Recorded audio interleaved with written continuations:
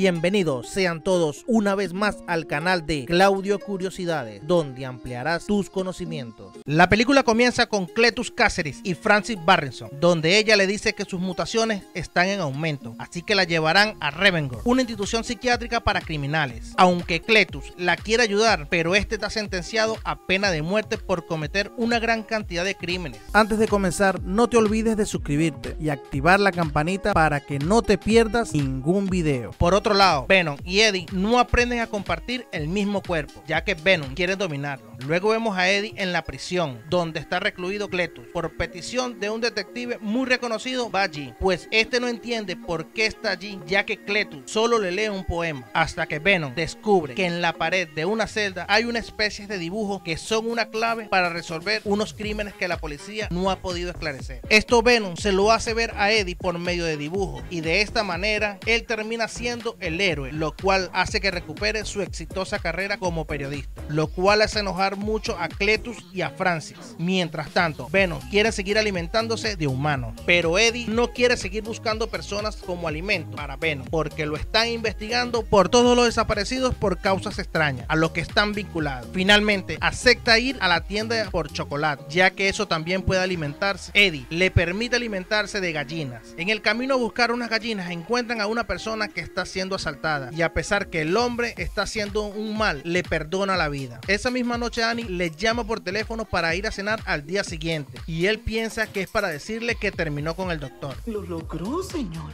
Lo logré. Pero no, era para decirle que se iba a casar con el doctor. Así que Eddie, muy destrozado, casi se suicida, intentando chocar contra un camión, pero luego decide no hacerlo, ya que sabe que revivirá gracias a Venom. Luego vemos una escena donde está Venom preparando una cena y cantando para Eddie, para hacerlo alegrar, pero ese momento es interrumpido porque Cletus le envía una carta invitándolo a su ejecución, disculpándolo de la misma. Allí le confiesa que él ha hecho muchas cosas malas desde que era niño, no solo a sus padres. Luego nos muestran cómo conoció a Francis. Desde pequeño, ella lo ayudaba cuando era golpeado por otros niños. Luego Eddie decide ir a la cárcel y Cletus le dice que son iguales, pues tuvieron una infancia aterradora, ya que él mató a su madre al nacer, lo cual hace que se moleste mucho y lo ataca. Pero fue una muy mala idea. Esto se va a poner feo ya que Cletus logra morderlo y así probar que su sangre no es de humano, porque ya él había probado la sangre humana. De esta manera nace Carnage. Luego Eddie y Venom comienzan a discutir y Eddie le dice que él ha destruido su vida, que él antes era un exitoso, pero Venom le dice que sin él no sería nadie y empieza a tirar todo y Venom decide irse metiéndose en el cuerpo de un vagabundo. Mientras tanto, las últimas palabras de Cletus antes de la ejecución fueron disfruten el show. Allí, en ese momento, hace el debut Carnage matando a todos los allí presentes. Eddie se entera por las noticias que Cletus ha escapado de prisión. En ese momento entra al departamento de Eddie el detective para preguntarle si sabe algo de lo que ha sucedido, ya que siempre él está en las situaciones más extrañas que existen. Por su parte, Venom fue a una fiesta de disfraces con el mejor atuendo. Venom dice que está libre de Eddie, ya que él lo avergonzaba, pero en el fondo, como todo buen artista, estaba triste y vacío. Luego Cletus consigue un auto para ir a buscar el amor de su vida, pero primero pasa por una tienda y asesina al empleado y busca en internet el paradero de su amada. Mientras Eddie encontró una pista en el orfanato donde estuvo Cletus, había un árbol con unas letras talladas, las cuales Eddie asume que eran las iniciales de los nombres de Cletus y Francis, y de que irá a buscarla. Pero el detective se niega a pensar eso, ya que él hace tiempo le había disparado en la cara a Francis. Cletus, con la ayuda de Carnas, rescata a su amada, luego al salir, ambos de allí causan muchas muertes, pero Francis, cuando grita, lastima a Carnas, ya que sufre de no aguantar los sonidos fuertes al igual que Venom. Luego el detective cita a Eddie para que le explique por qué Cletus quería que él estuviera el día de su ejecución. El detective le dice que ese día apareció un monstruo. Allí Eddie sospecha que se trata de un simbionte. Eddie llama a Annie para que le ayude a encontrar a Venom, así que ella va a la tienda de la señora Chan, quien tenía a Venom en su cuerpo, ya que después de la fiesta Venom se dio cuenta que nadie era tan compatible con él como lo es Eddie. Mientras tanto, Cletus y Francis planean su boda donde los invitados principales serían Eddie, Venom y el detective, el detective que le había disparado en el ojo a Francis. Annie llega donde Eddie, con Venom en su cuerpo. Allí podemos ver a Eddie pidiéndole perdón a Venom para que entre otra vez a su cuerpo.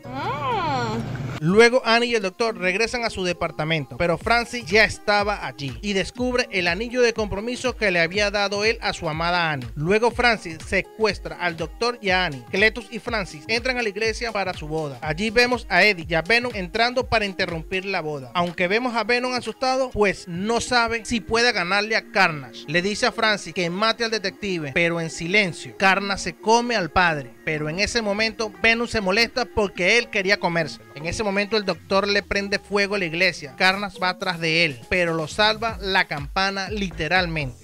Eso no me lo esperaba. Así que decide ir por Annie. Las cosas se complican y Venom le dice a Eddie que no podrán vencerlo. Y Canas ha lastimado mucho a Venom. Y lo único que pueden hacer para salvarse es que Francis pegue un gran grito. Luego, Venom la empuja y hace que grite tan fuerte causando que ambos simbiontes caigan por un precipicio. Al caer, Venom se come a Carnas y él le dice que quería solo ser su amigo, pero este se come la cabeza. Luego vemos al detective que no murió y quedó con el simbionte. Luego Venom le dice a Eddie que es momento de separarse porque lo están persiguiendo. A lo que Eddie le dice que permanecerán juntos ya que son un buen equipo.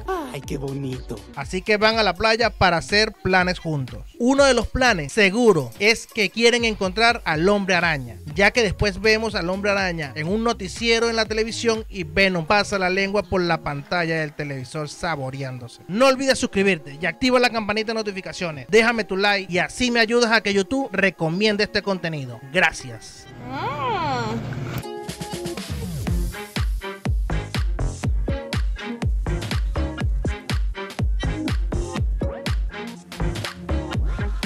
¿Sabían ustedes que existen muchas diferencias entre Moon Knight y Mr. Knight? Desde un punto de vista general, estas dos personalidades podían ser lo mismo, pero no es así. Te explico. En los cómics, Mr. Knight es la personalidad que posee mucha más inteligencia, donde ha llegado a trabajar varias veces con la policía para resolver casos difíciles, y su estilo de pelea se basa en pelear con dos bastones, mientras que la personalidad de Moon Knight es violenta y sumamente agresiva. Por esto le gusta trabajar solo, además de que en el traje posee armas sumamente letales. En resumen, podríamos decir que Mr. Knight es un gran detective y que Moon Knight es un gran justiciero. Déjame saber en los comentarios si te gustaría saber más curiosidades de la película o de la serie Moon Knight. Mira estas curiosidades del Escuadrón Suicida. Edry Elba fue inicialmente contratado para reemplazar a Will Smith como Deadshot, pero luego se decidió que Elba interpretaría a un nuevo personaje que en este caso es Bloodsport para permitir que Will Smith regresara en un futuro. Margot Robin representa la paleta de colores de su nuevo traje negro y rojo, tradicional de Harley Quinn, con Jay Gunn inspirándose en el disfraz del personaje que vemos en el videojuego de Batman Arkham City. Gunn también eliminó el tatuaje facial que decía Rotten o podrido en Harley de las películas anteriores. Tanto a él como a Robin no le gustaba el tatuaje. Originalmente, Jane Gunn quería que Dave Bautista interpretara a Peacemaker, pero Bautista lo rechazó para interpretar el papel principal en Arman of the Deck de Zack Snyder